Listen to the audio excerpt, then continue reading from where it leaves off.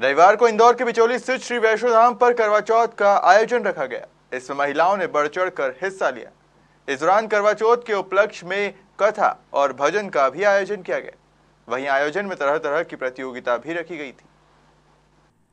दरअसल इंदौर के श्री वैष्णो धाम मंदिर में विगत पंद्रह वर्षों से करवा चौथ उत्सव का आयोजन किया जा रहा है, जिसमें महिलाएँ इंदौर ही नहीं, बल्कि प्रदेश के कई जिलों से हिस्सा लेने पहुँचती है।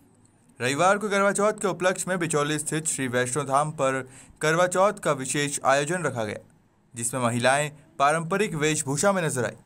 वहीं महिलाओं के लिए विभिन्न प्रकार के प्रतियोगिताओं का भी आयोजन किया गया, जिसमें खासकर बेस्ट थाली सजा, बेस्ट मेहंदी और मिसेस करवा चौथ 2021 के साथ ही रिटर्न गिफ्ट और लकी ड्रॉ का भी आयोजन किया गया।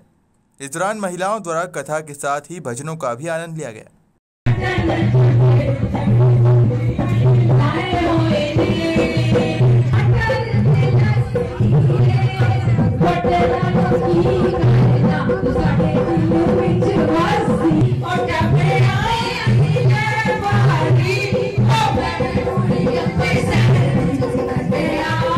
श्री वैष्णो धाम की दीप्ति शर्मा ने बताया कि कार्यक्रम विगत पंद्रह वर्षों से सतत किया जा रहा है, जिसमें दूर दूर से महिलाएँ हिस्सा लेने पहुँचती है।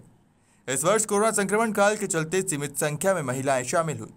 वहीं कोविड प्रोटोकॉल का भी पूरा पालन किया गया। करवा चौथ का आयोजन किया गया है। हमने मिसेस करवा चौथ का विशेष प्राइज रखा गया है। बेस्ट थाली बेस्ट मेहंदी, और हम लोगों ने सभी, जितने भी महिलाएँ आएँगी, उनके लिए सभी के लिए रिटर्न गिफ्ट भी किया है आयोजन और सबसे बड़ी इस प्रतियोगिता की ये खूबी है कि माता के दरबार में ये सुहाग का त्योहार बड़ी ही श्रद्धा से और धूमधाम से हम लोग मनाते हैं।